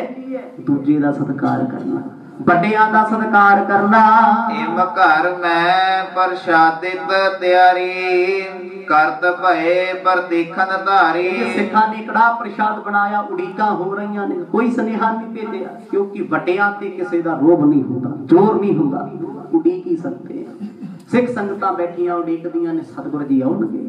ਹਰ ਪ੍ਰਕਾਰ ਦੀ ਤਿਆਰੀ ਕੀਤੀ ਗਈ। ਉਤ ਸਤ ਗੁਰ ਕਰ ਸੋਚ ਸ਼ਨਾਨਾ ਨਿਤ ਕੋ ਨੇਮ ਠਾਨ ਮਨ ਧਿਆਨਾ। ਉਧਰ ਗੰਗਾ ਦੇ ਕਿਨਾਰੇ ਸਤਿਗੁਰਾਂ ਨੇ ਆਸਾ ਜੀ ਕੀ ਵਾਰ ਦਾ ਕੀਰਤਨ ਸੁਣਿਆ। ਹਰ ਗੁਰੂ ਘਰ ਦੀ ਹਰ ਸਿੱਖ ਦੀ ਮਰਿਆਦਾ ਆਸਾ ਜੀ ਕੀ ਵਾਰ ਸੁਣਦੀ ਜੇ ਨਹੀਂ ਸੁਣ ਸਕਦੇ ਚਲੋ ਅੱਜ ਤੇ ਇਹੋ ਜਿਹਾ ਭਾਗਾ ਵਾਲਾ ਸਮਾਂ ਟੀਵੀ ਤੇ ਚੱਲਦੀ ਹੈ। ਘਰ ਘਰ ਸੁਣ ਸਕਦੇ ਆ। ਇਸੇ ਨੂੰ ਕਿਹਾ ਸੀ ਘਰ ਘਰ ਅੰਦਰ ਧਰਮਸ਼ਾਲ। ਕਿ ਧਰਮਸ਼ਾਲ ਹੈ। ਅੰਮ੍ਰਿਤ ਵੇਲੇ ਉੱਠ ਕੇ ਗੁਰੂ ਕਾ ਸਿੱਖ ਸੱਚਖੰਡ ਸ੍ਰੀ ਹਰਮੰਦਰ ਸਾਹਿਬ ਤੋਂ ਕੀਰਤਨ ਸੁਣਦਾ ਹੈ, ਬਾਣੀ ਪੜ੍ਹਦਾ ਹੈ ਤੇ ਹਰ ਗੁਰੂ ਘਰ ਦੇ ਵਿੱਚ ਆਸਾ ਜੀ ਕੀ ਵਾਰ ਦਾ ਕੀਰਤਨ ਗਾਇਆ ਜਾਂਦਾ ਹੈ। ਕਿਉਂਕਿ ਮਰਦ ਨੇ ਤੇ ਚਮਕੌਰ ਦੀ ਗੜੀ ਦੇ ਜੰਗ ਤੋਂ ਪਹਿਲਾਂ ਵੀ ਆਸਾ ਜੀ ਕੀ ਵਾਰ ਸੁਣਿਓ ਦੇ ਨਾ ਗਏ ਨੇ ਹੁਣ। ਤੇ ਇੱਧਰ ਗੁਰੂ ਤੇਗ ਬਹਾਦਰ ਪਾਤਸ਼ਾਹ ਜੀ ਗੰਗਾ ਦੇ ਕਿਨਾਰੇ ਬੈਠੇ ਆਸਾ ਜੀ ਕੀ ਬਾਤ ਸੁਣੀ ਸੂਰਜ ਚੜਿਆ ਫਤਿਹ ਬੁਲਾਈ। ਨਮਸਕਾਰ ਹੋਈ ਹੈ। ਸਿੱਖਾਂ ਨੇ ਵੀ ਤਿਆਰੀ ਕਰ ਲਈ। ਰਾਮ ਸਿੰਘ ਨ੍ਰਿਪ ਤਿਆਰੀ ਕੀਨਾ ਬਸਤਰ ਸ਼ਸਤਰ ਤਨ ਪਹਿਰ ਸੁਲੀਨ। ਰਾਜਾ ਰਾਮ ਸਿੰਘ ਨੇ ਵੀ ਤਿਆਰੀ ਕੀਤੀ ਸੋਹਣੇ ਵਸਤਰ ਸ਼ਸਤਰ ਪਾਏ। ਸਤਿਗੁਰਾਂ ਦੇ ਪਾਸ ਆਉਣਾ ਚਾਹੁੰਦਾ ਇਧਰ ਮਰਦ ਨੇ ਵੀ ਸੋਹਣੇ ਵਸਤਰ ਪਾ ਲਏ। ਭਗਤੀ ਦੇ ਵਸਤਰ ਹੋਰ ਹੁੰਦੇ ਨੇ। ਦੁਨੀਆ ਵਿੱਚ ਵਿਚਰਨ ਵਾਲੇ ਵਸਤਰ ਹੋਰ ਹੁੰਦੇ ਨੇ। ਕਿ ਗੁਰੂ ਸਾਹਿਬ ਨੇ ਸਿਖਾਇਆ, ਜਦੋਂ ਸਿਮਰਨ ਕਰਨਾ ਇੰਨੀ ਸਾਦਗੀ ਦੇ ਵਸਤਰ ਪਾਏ ਹੋਣ, ਇੰਨੇ ਸਿੰਪਲ ਇੰਨੇ ਖੁੱਲੇ ਹੋਣ, ਵੀ ਕਿਤੇ ਕੱਪੜਿਆਂ 'ਚ ਟੈਟ ਹੋਇਆ ਨਾ ਵੇਖੀ ਜਾਏ ਵੀ ਗੁਰਕਾ ਸਾਹਿਬ ਕਿੱਧਰ ਨੂੰ ਫੜਾ ਸਾਡੇ ਤੇ ਹਾਲ ਇਹ ਗੁਰੂ ਸਾਹਿਬ ਜੀ ਸਾਦਗੀ ਦੇ ਵਸਤਰ ਪਾ ਕੇ ਬੈਠੇ ਸੀ, ਅੱਜ ਵੀ ਬੰਦਗੀ ਵਾਲੇ ਸਿੱਖ ਬਹੁਤ ਘੱਟ ਕੱਪੜਿਆਂ 'ਚ, ਸਾਦਗੀ ਵਾਲਿਆਂ 'ਚ ਬੈਠਦੇ ਨੇ, ਕਿਉਂਕਿ ਕੱਪੜੇ ਹੀ ਧਿਆਨ ਨਹੀਂ ਜੁੜਨ ਦਿੰਦੇ ਸਾਡੇ। ਹੁਣ ਉਹ ਤੋਂ ਬਾਅਦ ਸਤਿਗੁਰਾਂ ਨੇ ਸੋਹਣੀ ਪੋਸ਼ਾਕ ਪਾਈ ਜੋ ਦਰਬਾਰ ਵਿੱਚ ਪਾ ਕੇ ਬੈਠੇ ਸੀ। ਉੱਤੋਂ ਦੀ ਤੇਗ ਪਾਲੀ ਵੱਡੀ ਕਿਰਪਾਨ ਪਾਈ ਹੋਈ ਹੈ। ਲੱਕ ਤੇ ਕਟਾਰ ਮੋਢੇ 'ਚ ਧਨ ਖਬਾਨ ਪਾ ਲਿਆ। ਸ੍ਰੀ ਗੁਰ ਤੇਗ ਬਹਾਦਰ ਪਾਸ ਆਏ ਤਰਿਓ ਕਰ ਦਰਸ਼ਨ ਆਸ। ਸਭ ਤੋਂ ਪਹਿਲਾਂ ਚੱਲ ਕੇ ਰਾਜਾ ਰਾਮ ਸਿੰਘ ਸਤਿਗੁਰਾਂ ਦੇ ਚਰਨੀ ਆਇਆ ਮੱਥਾ ਟੇਕਿਆ ਪਾਤਸ਼ਾਹ ਜੀ ਦਾਸ ਤਿਆਰ ਹੈ ਅਸੀਂ ਤਿਆਰ ਹਾਂ ਸਾਡੀ ਫੌਜ ਵੀ ਤਿਆਰ ਹੈ। ਆਪ ਜੀ ਦਾ ਹੁਕਮ ਕੀ ਹੈ? ਬਸਤਰ ਪਹਿਰ ਗੁਰ ਹਵੈ ਕਰ ਤਿਆਰ ਢਿਗ ਅਨਾਏ ਸ਼ਿਵਕ ਅਸਵਾਰ। ਸਤਿਗੁਰ ਕਹਿੰਦੇ ਬਾਦਸ਼ਾਹ ਜੀ ਚਲੋ ਫਿਰ ਤੁਸੀਂ ਵੀ ਪਾਲਕੀ 'ਚ ਬੈਠੋ ਤੇ ਅਸੀਂ ਵੀ ਪਾਲਕੀ ਮੰਗਾਈਏ ਆਪਾਂ ਚੱਲੀਏ। ਹੁਣ ਗੰਗਾ ਨਦੀ ਨੂੰ ਪਾਰ ਕਰਨ ਵਾਸਤੇ ਵੱਡੇ ਵੱਡੇ ਮਲਾਹਾਂ ਨੂੰ ਸੱਦਾ ਦਿੱਤਾ। ਫੌਜ ਬੜੀ ਹੈ। ਸਭ ਨੂੰ ਬੇੜਿਆਂ ਤੋਂ ਪਾਰ ਕਰਨਾ ਹੈ ਜੱਟ ਤਰੰਗ ਪਰ ਚਾਲ ਨਿਰਪਾਲਾ ਭਏ ਸੈਂਕਰੇ ਮਾਨਵ ਨਾਲਾ। ਹੁਣ ਗੰਗਾ ਨਦੀ ਨੂੰ ਪਾਰ ਕੀਤਾ ਪਹਿਲਾਂ ਸਤਿਗੁਰਾਂ ਨੇ ਫਿਰ ਬਾਦਸ਼ਾਹ ਨੇ ਫਿਰ ਫੌਜ ਹੌਲੀ ਹੌਲੀ ਪਾਰ ਹੋ ਰਹੀ ਸੰਗਤਾਂ ਪਾਰ ਹੋ ਰਹੀਆਂ ਪਟਨੇ ਦੀ ਧਰਤੀ ਤੇ ਪੁੱਜ ਗਏ। ਗੁਰ ਬਾਜ਼ਾਰ ਕਹੋ ਆਵਤ ਚਲੇ ਨਿਮਰੀ ਹੋਤ ਬ੍ਰਿੰਦ ਨਰ ਮਿਲੇ। ਬੜੀਆਂ ਸਿੱਖ ਸੰਗਤਾਂ ਰਾਹਾਂ ਵਿੱਚ ਖੜੀਆਂ ਸਤਿਗੁਰਾਂ ਦੀ ਉਡੀਕ ਕਰ ਰਹੀਆਂ ਨੇ ਬਾਦਸ਼ਾਹ ਆਉਣਗੇ। ਗੁਰੂ ਤੇਗ ਬਹਾਦਰ ਸਾਹਿਬ ਜੀ ਦੀ ਪਾਲਕੀ ਸ਼ਹਿਰ ਦੀਆਂ ਗਲੀਆਂ ਨੂੰ ਹੋ ਤੁਰੀ। ਜਿਸ ਪਾਸੇ ਸਤਿਗੁਰ ਦੀ ਪਿੱਛੇ ਸੰਗਤਾਂ ਤੇ ਬਾਦਸ਼ਾਹ ਜਾ ਰਹੇ ਨੇ ਨਾਲ ਨਾਲ ਭੀੜ ਤੁਰਦੀ ਹੈ ਪਟਨੇ ਕੀ ਸੰਗਤ ਸਮੁਦਾਏ ਪ੍ਰਾਤ ਹੋਤ ਹੀ ਮਿਲ ਇਕ ਥਾਏ। ਵੱਡੇ ਭਾਗ ਸੀ ਸੰਗਤਾਂ ਦੇ ਅੰਮ੍ਰਿਤ ਵੇਲੇ ਸਤਿਗੁਰਾਂ ਦੇ ਦਰਸ਼ਨ। ਬਿਲਕੁਲ ਅੰਮ੍ਰਿਤ ਵੇਲੇ ਛਕਿਆ ਵੀ ਹੈ ਜੇ ਕਿਸੇ ਨੇ ਕੁਝ ਨਹੀਂ ਸੀ ਉਹਨਾਂ ਸੰਗਤਾਂ ਨੇ ਫੁੱਲਾਂ ਦੀ ਬਰਸਾਤ ਕੀਤੀ। ਜਿਸ ਗਲੀ ਚੋਂ ਸਤਿਗੁਰਾਂ ਦੀ ਪਾਲਕੀ ਆਉਂਦੀ ਕਹਿੰਦੇ 100 100 ਫੁੱਟ ਦੂਰ ਸਿੱਖ ਚਰਨੀ ਮੱਥਾ ਟੇਕਦੇ ਨੇ। ਸ੍ਰੀ ਗੋਬਿੰਦ ਸਿੰਘ ਕੇ ਢਿਗ ਆਈ ਅਨਕ ਪ੍ਰਕਾਰ ਪ੍ਰਸ਼ਾਦਨ ਲਿਆਈ। ਇੱਧਰ ਤੇ ਸੰਗਤਾਂ ਨਮਸਕਾਰਾਂ ਕਰਦੀਆਂ ਪਿੱਛੇ ਜੈ ਜੈਕਾਰ ਕਰਦੀਆਂ ਸਿੱਖ ਸੰਗਤਾਂ ਤੇ ਬਾਦਸ਼ਾਹ ਆਉਂਦੇ ਨੇ। ਉਧਰ ਗੋਬਿੰਦ ਰਾਏ ਦੀ ਹੱਥ ਵਿੱਚ ਫੁੱਲ ਲੈ ਕੇ ਦਰਵਾਜ਼ੇ ਤੇ ਖੜੇ ਗੁਰੂ ਪਿਤਾ ਨੂੰ ਉਡੀਕਦੇ ਆਖੋ ਸਤਨਾਮ। ਗੁਰੂ ਤੇਗ ਬਹਾਦਰ ਸਾਹਿਬ ਦੀਆਂ ਨੇ ਪਾਲਕੀ ਦੇ ਝਰੋਖਿਆਂ ਚੋਂ ਵੇਖਿਆ ਵੀ ਗੋਬਿੰਦ ਰਾਏ ਖੜੇ ਨੇ। ਕੋਈ ਦੁਨੀਆ ਵਾਲੀ ਫੀਲਿੰਗ ਨਹੀਂ ਪੁੱਤ ਮੇਰਾ। ਇਹ ਨਹੀਂ ਸੀ ਸੋਚ। ਸਤਿਗੁਰਾਂ ਨੇ ਪਾਲਕੀ ਚੋਂ ਹੀ ਸੀਸ ਨਵਾਤਾ। ਜ਼ਿੰਮੇਵਾਰ ਇਸ ਗੱਦੀ ਦੇ ਆ ਗਏ ਆਖੋ ਸਤਨਾਮ। ਕੋਈ ਪੁੱਤਰਾਂ ਵਾਲਾ ਪਿਆਰ ਥੋੜੀ ਹੈ। ਜੇ ਪੁੱਤਰਾਂ ਵਾਲਾ ਮੋਹ ਆ ਗਿਆ ਤੇ ਬਸ ਫਿਰ ਤੂੰ ਮੇਰਾ ਪੁੱਤ ਹੈ ਤੇ ਮੈਂ ਤੇਰਾ ਪਿਤਾ ਜੋ ਮੈਂ ਕਹੂੰ ਉਹ ਮੰਨ ਸਤਿਗੁਰਾਂ ਨੇ ਕਦੇ ਧੱਕਾ ਨਹੀਂ ਕਿਸੇ ਗੱਲ ਵਿੱਚ ਕੀਤਾ। ਦੂਰੋਂ ਦਰਸ਼ਨ ਕਰਕੇ ਮਨ ਖਿੜ ਗਿਆ। ਭਈ ਭੀਰ ਸਭ ਅੰਗਨ ਮਾਹੇ ਕੇਤਿਕ ਕੋਸ਼ਠ ਪਰ ਚਰ ਹੁਣ ਜਾਹੇ ਗੋਬਿੰਦ ਰਾਏ ਜੀ ਫੁੱਲਾਂ ਦੀ ਬਰਸਾਤ ਉੱਪਰੋਂ ਕਰ ਰਹੇ ਨੇ ਪਿਤਾ ਜੀ ਦੇ ਦਰਸ਼ਨ ਨਹੀਂ ਅਜੇ ਤੱਕ ਹੋਏ। ਸੰਗਤਾਂ ਦਾ ਧੱਕਾ ਪੈਂਦਾ ਕਿਤੇ ਚੱਲਦੇ ਚੱਲਦੇ ਪਾਲਕੀ ਤੋਂ ਅੱਗੇ ਮਾਤਾ ਜੀ ਨਾਲ ਵਿਹੜੇ ਚ ਆ ਗਏ। ਹੁਣ ਸਤਿਗੁਰਾਂ ਦੇ ਵਿਹੜੇ ਦੇ ਵਿੱਚ ਪਾਲਕੀ ਪਹੁੰਚੀ। ਪਿੱਛੇ ਪਿੱਛੇ ਬਾਦਸ਼ਾਹ ਤੁਰਿਆ ਆਉਂਦਾ ਹੈ।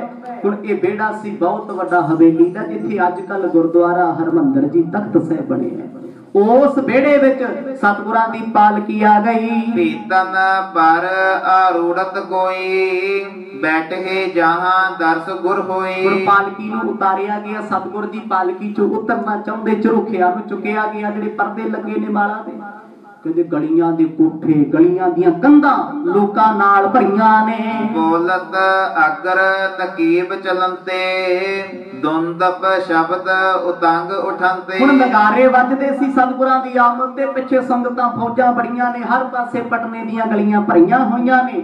ਗੁਰੂ ਸਾਹਿਬ ਤੋਂ ਅੱਗੇ ਨਕੀਬ ਬੋਲਦੇ ਆਉਂਦੇ ਸੀ ਸੋਨੇ ਦੀਆਂ ਚੋਬਾਂ ਲੈ ਕੇ ਭਾਈ ਗੁਰੂ ਸਾਹਿਬ ਆਉਂਦੇ ਰਸਤਾ ਦੇ ਦਿਓ।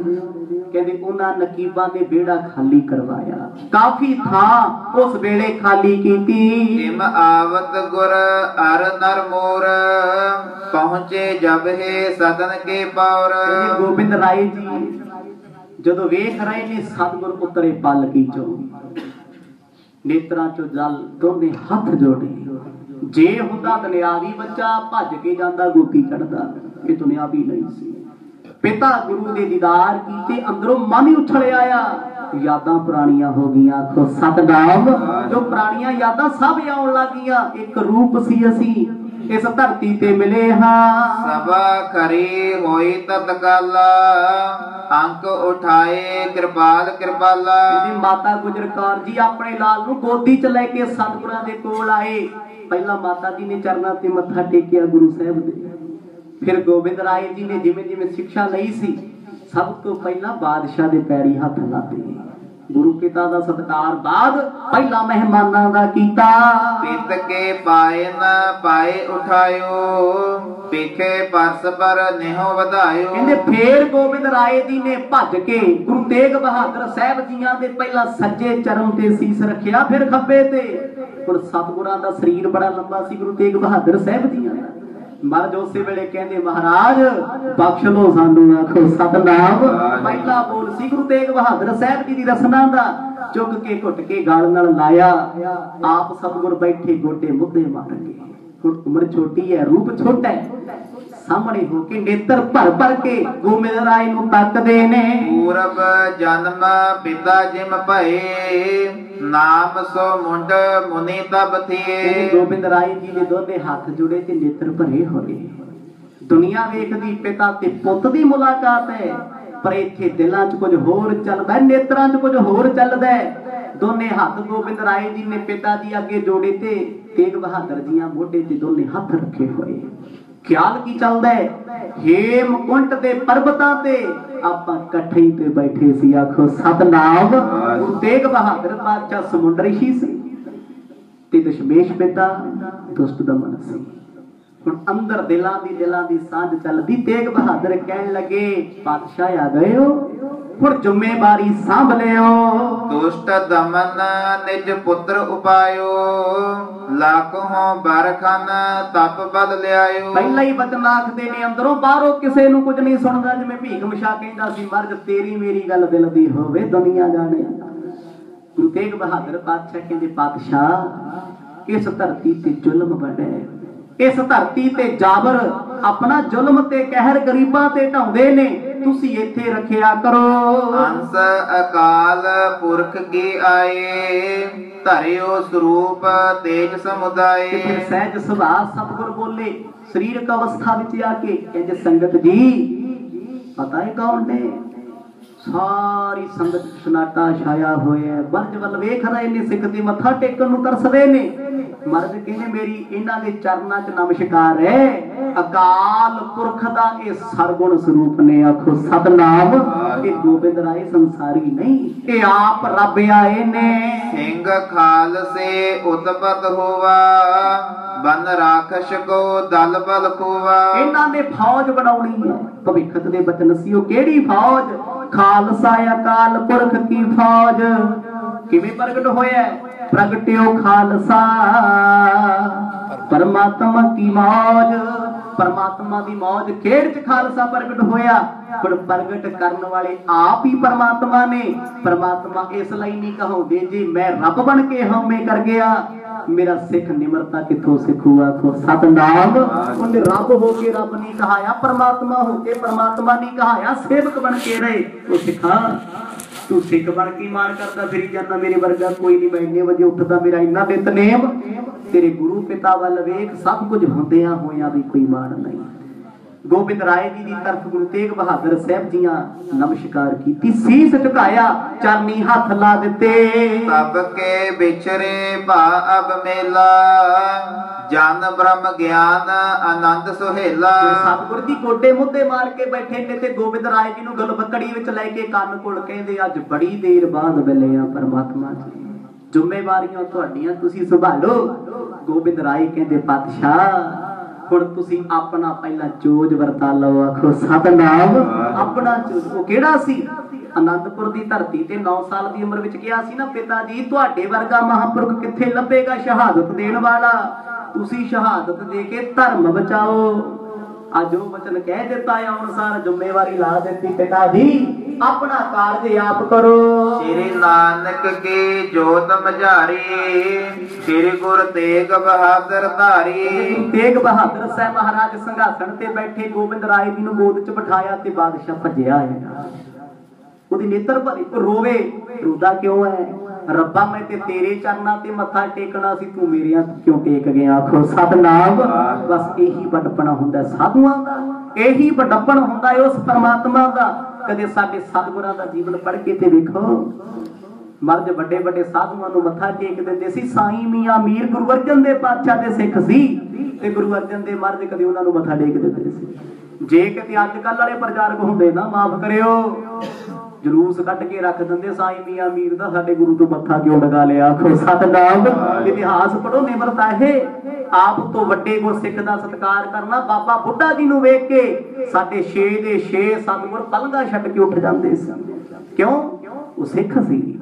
ਸਿੱਖ ਦਾ ਇੰਨਾ ਸਤਿਕਾਰ ਜਿਸ ਘਰ ਵਿੱਚ ਗੁਰੂ ਦਾ ਸਿੱਖ ਜਾਵੇ ਉਹ ਘਰ ਦੇ ਭਾਰ ਕੱਟਦੇ ਜਾਂਦੇ ਕੱਟਦੇ ਹੀ ਜਾਂਦੇ ਹੁਣ ਬਾਬਾ ਬੁੱਢਾ ਜੀ ਜਿਹੜੇ ਘਰੇ ਆਉਂਦੇ ਸੀ ਗੁਰੂ ਸਾਹਿਬ ਦੇ ਘਰ ਵੀ ਮਰਦ ਤੇ ਆਉਣਾ ਨਾ ਬਾਬਾ ਬੁੱਢਾ ਜੀ ਨੇ ਕਦੇ ਮਰਜ ਉੱਠ ਕੇ ਖੜ ਜਾਣਾ ਮਹਾਂਪੁਰਖੋ ਬੈਠੋ ਭਾਈ ਲੈ ਕੇ ਆਓ ਕੁਝ ਛਕਾਉਣ ਨੂੰ ਭਾਗਾਂ ਨਾਲ ਸਾਡੇ ਘਰ ਚਰਨ ਪਾਏ ਕਿਉਂਕਿ ਗੁਰੂ ਤੋਂ ਵੱਡਾ ਪੂਰਨ ਸਿੱਖ ਹੁੰਦਾ ਆਖੋ ਸਤਨਾਮ। ਇਹ ਗੱਲ ਨਿਮਰਤਾ ਦੀ ਹੈ।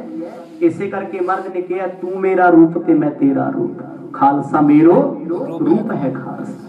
ਪਰ ਉਹ ਗੁਰਸਿੱਖ ਕੋਈ ਪੂਰਾ ਹੋਵੇ, ਬੰਦਗੀ ਵਾਲਾ ਹੋਵੇ, ਨਾਮ ਜਪਣ ਵਾਲਾ ਹੋਵੇ, ਜਿਹੜਾ ਗੁਰੂ ਦਾ ਸਰੂਪ ਹੁੰਦਾ ਹੈ, ਰਾਜੇ ਨੇ ਸਤਿਗੁਰਾਂ ਦੇ ਚਰਨ ਪਰਸੇ, ਚਰਨਾਂ ਤੇ ਮੱਥਾ ਰੇਖਿਆ, ਗੋਬਿੰਦ ਰਾਏ ਕਹਿਣ ਲੱਗੇ, ਨਾ ਰਾਜਨ, ਕਿਉਂ ਭਾਰ ਚੜਾਉਣਾ ਭਾਈ? ਤੂੰ ਕਰਮਾ ਵਾਲਾ ਏ। ਤਿਸੇ ਅੰਸ਼ ਮਹਿ ਚਾਹਤ ਮੇਲੀ। ਦੇਖਤ ਸੁਤ ਕੇ ਦੁੱਤ ਸੁਖ ਝੇਲੀ। ਉਸ ਵੇਲੇ ਗੋਬਿੰਦ ਰਾਏ ਜੀ ਨੇ ਬੜੇ ਪ੍ਰੇਮ ਦੇ ਬਚਨ ਰਾਜਾ ਰਾਮ ਸਿੰਘ ਨੂੰ ਆਖੇ, ਜਦੋਂ ਸਤਿਗੁਰਾਂ ਨੇ ਅੰਦਰ ਦੇ ਬਚਨ ਆਖੇ। ਸੁਣ ਕੇ ਰਾਜਾ ਰਾਮ ਸਿੰਘ ਜਾਣ ਗਿਆ, ਇਹ ਗੁਰੂ ਤੇਗ ਬਹਾਦਰ ਸਾਹਿਬ ਦਾ ਨੂਰ ਨੇ। ਹੁਣ ਬੜੀਆਂ ਸੰਗਤਾਂ ਆ ਕੇ ਮਿਲਦੀਆਂ ਨੇ। ਗੋਬਿੰਦ ਰਾਏ ਜੀ ਗੋਦ ਵਿੱਚ ਬੈਠੇ ਨਹੀਂ ਉੱਠ ਕੇ ਇੱਕ ਪਾਸੇ ਬਹਿ ਗਏ, ਕਿਉਂ? ਕਿਉਂ ਉੱਠੇ ਜੀ? ਉਹ ਅੰਦਰ ਦੀ ਸੁਰਤ ਜਾਣਦੇ ਸੀ ਜੇ ਗੁਰਤਾ ਗੱਦੀ ਨਹੀਂ ਮਿਲੀ। ਪਹਿਲਾ ਮੱਥਾ ਅਸੀਂ ਟਿਕਾ ਨਹੀਂ ਸਕਦੇ, ਆਖੋ ਸਤਨਾਮ। ਗੁਰੂ ਪਿਤਾ ਗੁਰਤਾ ਗੱਦੀ ਤੇ ਬੈਠੇ, ਨਮਸਕਾਰ ਉਹਨਾਂ ਨੂੰ ਹੋ ਰਹੀ ਹੈ। ਅਸੀਂ ਇਹ ਮੱਥਾ ਨਹੀਂ ਟਿਕਾਉਣਾ।